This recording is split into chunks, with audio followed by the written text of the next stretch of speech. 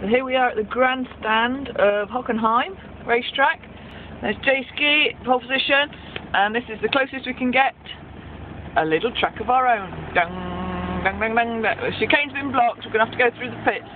Dung, dung, to the dung, dung, dung, dung, dung, dung, dung, dung, dung. late Woo! apex on this. Watch the corner, watch the corner. White cars are in this season, it would appear. No. I don't know if it's the actual circuit laid out or what, but it's fun. corner in, corner in. Woo!